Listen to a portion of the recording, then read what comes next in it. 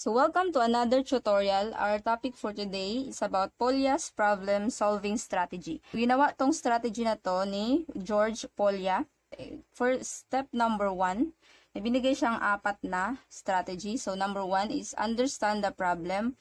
So itong understand the problem, so syempre sa isang mathematical problems, kailangan naiintindihan mo kung ano yung problem na binigay sa inyo. So kailangan alam mo yung what is being asked or ano yung unknown, and then what information or data can be extracted or ano yung given. Now, for number 2, you should devise a plan according to Polya. So, devising a plan, kailangan mo ng strategies to solve the problem. So, pwede mong i-organize yung information muna or kailangan mo ng list ng or mga table, chart, diagrams.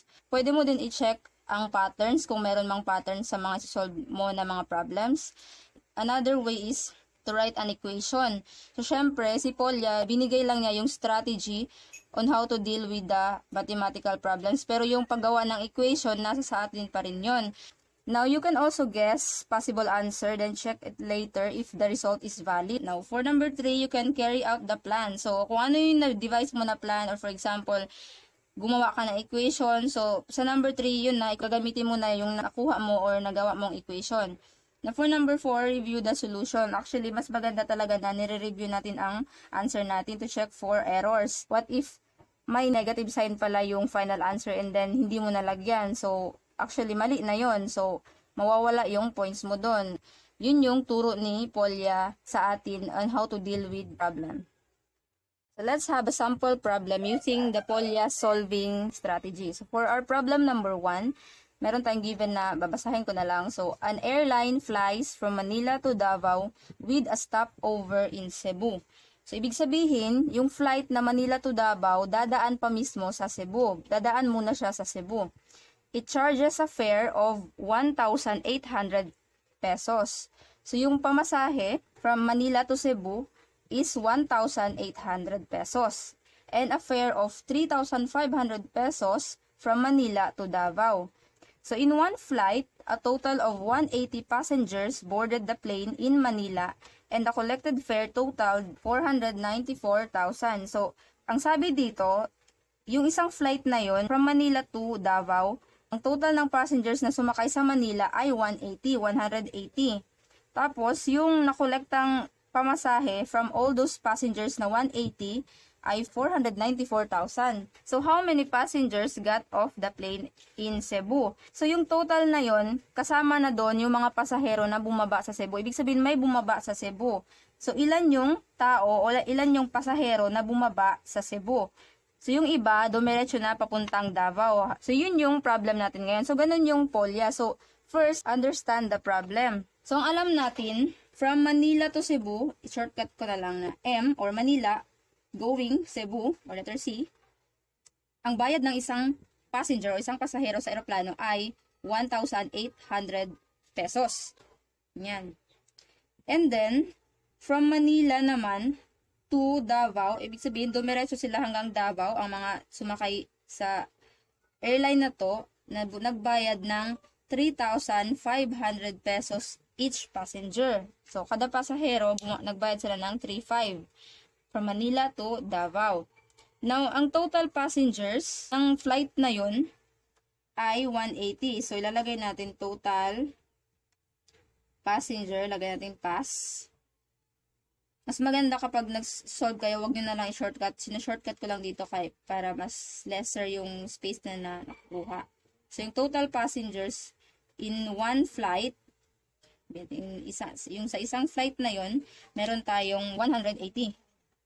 Ang total of collected fare, based dito sa sinabi kanina sa problem, ay 400,094. So, lalagay na lang natin total, total of collected fare, which is 494,000 pesos. How many passengers got off the plane in Cebu?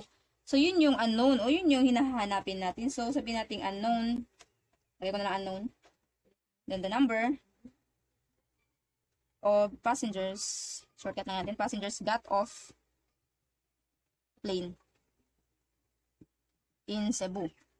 Yan. Alam lang natin yung total ng passenger na sumakay from Manila. Pero hindi natin alam kung ilan yung bumaba sa Cebu. At saka hindi rin natin alam kung ilan yung bumaba sa Davao. So, ibig sabihin, unknown din ang number na bumaba ng mga pasahero sa Davao.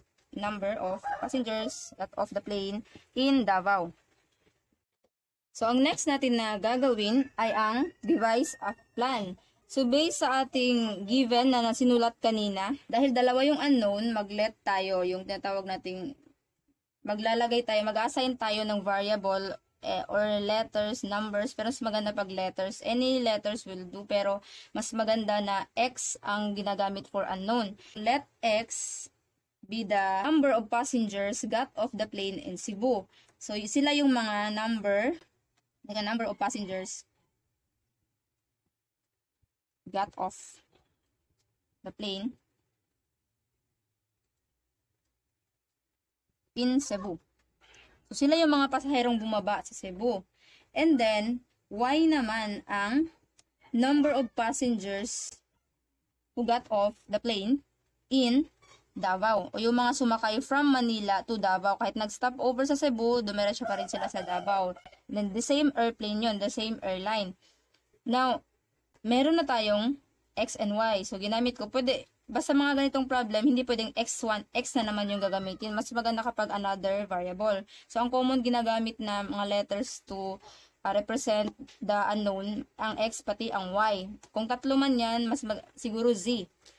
Now, sa atin, dalawa lang naman, so X and Y lang ginamit ko. Yung according sa ating given kanina, or based din sa problem, na ang, pas, ang pamasahe o yung fare ng mga sumakay from Manila to Cebu ay 1,800. Uh, given kasi kanina, yung total na pasahe, pamasahe na nakolek sa mga pasahero. So, pero hindi lang natin alam kung ilan yung nagbayad ng 1.8 at saka ilan yung nagbayad ng 3.5.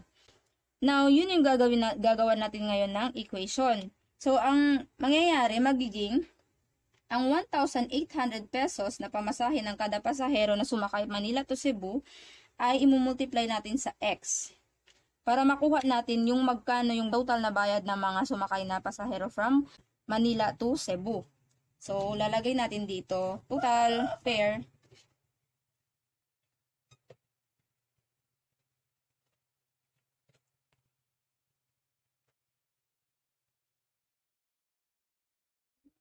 So, lagyan na lang natin ng total fare collected from passengers bound for Manila to Cebu. So, eto na. So, unknown pa rin yan. Pero, at least, meron na tayong nabubuong equation. So, eto yung, pag imumultiply natin, for example, uh, yung x na to, uh, for example, 10 or 10 yung value ng x. So, imumultiply natin to sa 1.8. So, yun siya yung magiging total na pamasahe ng mga lahat ng sumakay na pasahero from Manila hanggang Cebu. Now, yung sa y naman, for Manila to Davao, magiging ganito naman yan. Same lang din sila, pero 1, uh, 3,500 times Y. So, same sila, which is uh, total fare.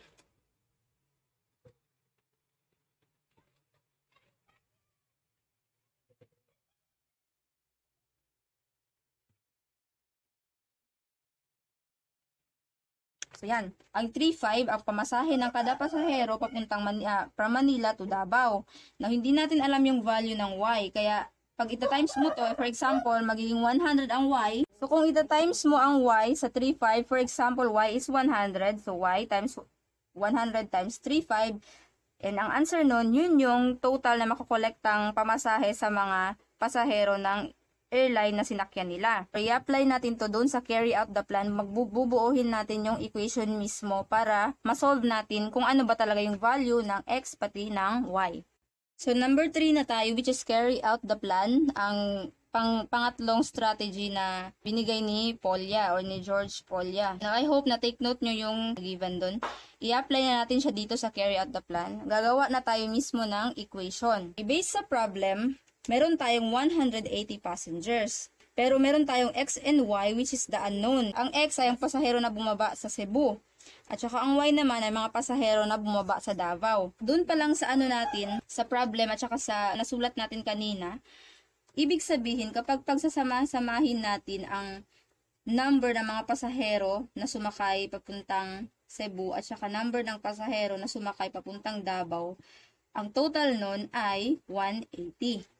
Ito ngayon yung ating first equation.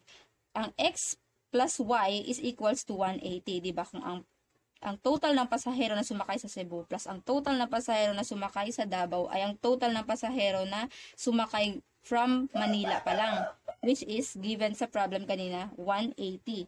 Ito oh, 180 passengers boarded the plane in Manila. Now ang next ngayon ay i-apply natin ang itong formula na to doon sa ating yung kanina na 1,800 times x pati yung 3,000 500 times y. 'Di ba dito sa ating problem sinabi na, na ang nakolektang pamasahe sa mga pasahero, yung total na talaga, yung sumakay sa Cebu ay sumakay sa Cebu tsaka hanggang Davao which is ay 494,000. Pwede natin tong magamit. So, 'di ba kanina nakagawa tayo ng ang 1/8 or yung nagbayad ng 1,800 times yung x.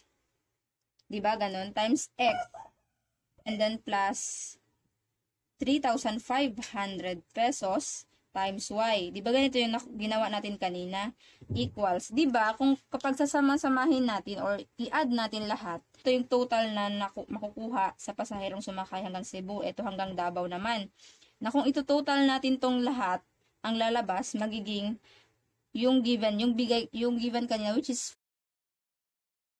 So, may another equation na naman tayo. Pero, hindi natin to siya ma-add or like matatranspose kasi dalawa yung variable natin. Kailangan, kailangan isa lang yung matira. Kailangan may value yung isa sa mga variable dito. Now, yung gagawin natin, kukunin natin muna yung value ng y. Now, paano natin kukunin yung value ng y? Now, makukuha natin yung value ng y dito pa lang sa ating naunang nabuong equation. So, pag i-transpose mo yung x dito sa kabila, for example, dadalhin mo siya dito, transpose mo yung x, magiging y is equals to 180 minus x, maging negative na siya. So, ito na ngayon ang consider nating equation 1. So, yan, may value na, may value na ngayon ang y, although wala pang uh, exact, ano, wala pang value tong x, pero ito na ngayon ang value ng y. Itong value ng y sa equation 1, isa-substitute natin dito sa ating nabuong equation which is ang equation 2. Sabi ko, equation 2. So, ito ngayon yung equation 2. So, isa-substitute natin itong value ng y dito sa equation 2. So, ang mangyayari, i-rewrite natin para mas hindi magulo yung ating equation. So, magiging 1,800 times x or pwede rin namang x na lang kasi ita times lang din naman syempre same lang plus tong 3,500 or 3,500 pesos times y. Na yung value ng y is 180 minus x. So ilalagay natin substitute na natin dito sa ating equation 2 and equals to 494,000 ito na ngayon yung na substitute na natin na equation from equation 2 now kung mapapansin nyo dito sa ating na buong equation, x na lang ang meron. So, magan mas maganda to kasi x na lang yung solve natin. So, isang, isang x, uh, isang variable, so masasolve na natin yung value ngayon ng x. Ang gagawin natin, first things first, yung, di ba, pag mag-multiply ka, unahin mo muna yung nasa parenthesis. Pero dito kasi hindi mo siya ma-add ma or ma-minus kasi wala nang value tong x. So, ang mangyayari, i-distribute mo tong value ng 3,500 dito sa 180. 3,500 times 180. 3,500 times negative x or minus x. So, ang mangyayari ganito na siya guys. 1, 1,800x plus 3,500 times 180 is 630,000 minus 3,500 times x minus na syempre kasi negative na. So, 3, 3,500x which is equals to 400,000, 494,000. So, ang mangyayari ngayon, since ito, hindi mo to siya maa-add dire-diretso. Kailangan kung ano yung same, yung may variable, yun muna yung add mo. So, itong 180 pati 350. Pero, di ba, hinahanap natin yung value ng x. So, mas maganda i-transpose na natin tong x na dalawang value ng x sa kabila and then itong 494 sa kabila naman. So, balik-baliktad. Pero, for convenience na lang, isosolve, ilalagay ko na lang dito ang ah, dito sa, right, sa left side ang x. Assuming na transpose ko sa kabila yung 180x, ah, 1,800x pati 3,500x. Then dito ko siya ilalagay para mas ma-convenient lang ba. Tas, so pag kan, itatranspose natin tong 3,500 sa kabila, magiging positive na to siya. So ganito na kalalabasan ng 3,500x. And then tong 1,800x magiging negative. Ganyan. 1,8. Yan, x. And then, mm, equals to, syempre, itatranspose din natin tong 630,000. So, magiging ganito na yan siya. Since, di ba itong mga, ito i-transpose sa kabila. Uh, itong 630 as is lang pala yan siya. Hindi na yan siya i-transpose. Ito lang, itong 494,000 ang itatranspose. So, ganyan lang yan siya. Then, minus, kasi positive to, and then pagka-transpose, naging negative. Yan na. So, ito na ngayon ang na-transpose natin mga value. Now, kung ima-minus natin tong 3,500 minus 1,800, ang lalabas ay 1,700x equals to 630,000 minus 494,000. Ang answer ay 136,000 pesos. Ang goal natin ngayon ay mahanap yung value ng x. So, ang gagawin natin, ang next na gagawin natin ay kailangan mawala tong 1,700 dito sa x. So, ibig sabihin, i-divide natin both sides, ito, tong dalawa, by 1,700 pesos para x na lang yung matira dito sa kabila. So, ito na lang yung tinira kong equation since ito na lang yung next na solve natin. I hope na na-take note nyo yung mga solution kanina kasi hindi ko na yun babalikan. ba diba, ang goal natin ay hanapin ang value ng x. So, sinabi ko kanina na i-divide natin to by 1,700 pesos. Para pag mag-divide tayo, makancel na yung 1,7 sa side, sa, sa tabi ng x. Now, dito 'di ba makancel na cancel and then x na lang ang matitira. Now, itong 136 divided by 1,700, pwede nyo lang din i-calculate. So, pag, pag i-divide nyo yan, ang lalabas na x is equals to 80. Na ano ibig sabihin nito? Di ba yung x kanina is ay ang passengers who got off the plane in Cebu. So, ibig sabihin, meron tayong 80 na passengers na bumaba sa Cebu. Ito na yung hinahanap natin sa problem. Di ba yung problem natin kanina is ito?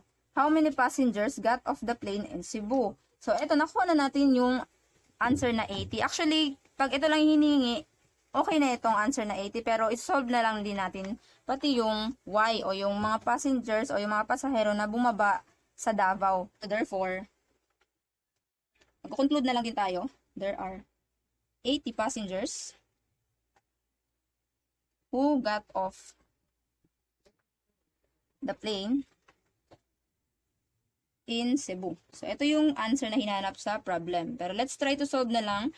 Diba, 180 yung total ng passenger na sumakay sa eroplano. So, minus 80 will be 100. Pero, para maganda lang yung solution natin, gagamitin natin yung equation 1 kanina kung natatandaan nyo, which is y is equals to 180 minus x. Diba? Para makuha natin yung value ng y. Now, pag substitute natin yan, 180 minus 80, which is yung value kanina, nakakuha natin, which is equals to 100 passengers. Now, ibig sabihin, ang bumaba, ang sumakay sa Manila, uh, from Manila na mga pasahero hanggang sa Davao, doon na sila sa Davao bumaba, ay may 100 na passengers tayo. So, ito yung hinahanap natin na mga passengers na bumaba sa Cebu pati bumaba sa uh, sa Davao. Na kayo na lang din yung mag-solve ng value ng kung ilan yung binayad nila kasi hindi naman pinahanap sa problem natin pero try to solve na lang yung 1,800 times 80 and then 3,500 times 100 then yun yung total ng passengers each destination kumbaga from Cebu, from Manila to Cebu and then Manila to Davao. Now, ito yung answer, yung final answer ng ating number 1 problem. So, although na-check na ay nakuha na natin yung final answer for x and y sa ating problem, gusto ko lang tong ituro kasi kung may scientific calculator kayo, madali nyo na lang itong makukuha. As in, hindi nyo na kailangan mag-distribute pa ng value and then mag-transpose and then mag-divide na naman and then to find just to find the value of x. Pwede kayong gumamit ng calculator. Basta scientific calculator na kayang mag-shift solve. Yung mga Casio, ganito, 570, 991, at saka Canon, pwede din yung, yung ginagamit ngayon, yung latest na may shift calc. Now, para dito, sa ating problem, pwede lang tayong mag-input ng ganito. So, lilapit ko lang para makita nyo. Pwede, example, itong formula na to, i-input lang natin sa ating calculator 1,800 times x or x lang. Ang x ngayon, mag-alpha tayo, alpha x. Ganyan. Itong alpha and then x. Kasi yung may red mismo, yung x yung gagamitin natin. So, anything na unknown, ang gagamitin natin na letter dito sa ating calculator ay x. Hindi pwedeng y, m, na mga other letters dito. Dapat x lang. And then plus 3,500 3,500 times 180. Di ba 180 minus x na naman. Kahit b ang nakalagay dyan sa unknown, pag sa calculator mo i-input, ang unknown sa calculator ay x. Now equals to 494,000. Kalito. Now yan. Ito ngayon ang equation, di ba o? Pag ganyan. Same na yan sila. Now ang mangyayari, pag na, na-solve mo na or na-input mo na sa calculator yung mga value, tinan mo guys, oh. Ganyan. I-shift, solve mo siya. 'Di ba dito sa 570 ES pati sa 991 ES na Casio, ito shift, itong sa taas shift, shift, solve. Yung solve yun oh, nan- yung yellow kung hindi niyo nakikita pero calc yung mismong ipindutin niyo shift, ba? Napindot ko na yung shift kanina and then calc. So solve for x, lalabas sa calculator niyo yung solve for x and then equals. O ba? Yung lumabas ay 80. Oh. So, yan na ngayon. Kung marunong kayo nito, kung mamaster nyo, madali lang naman, very short, shortcut to. Kung hindi naman bawal yung calculator na, gagamit, na gagamitin nyo sa exams, mas magandang ganito, para shortcut na lang. So, 80 yung x natin. Mas madali, madali na lang, hindi ka na kailangan mag-distribute distribute ng value. So, x, x is 80 and then y is 100. 'di ba? So, yun lang naman ang maturo ko for using the calculator shortcut na yun. And then, hindi ko na-review kasi na-review ko na to before ko tinuro sa inyo. So, pag kayo, pag sa mga exams, you should review your answers to check for errors.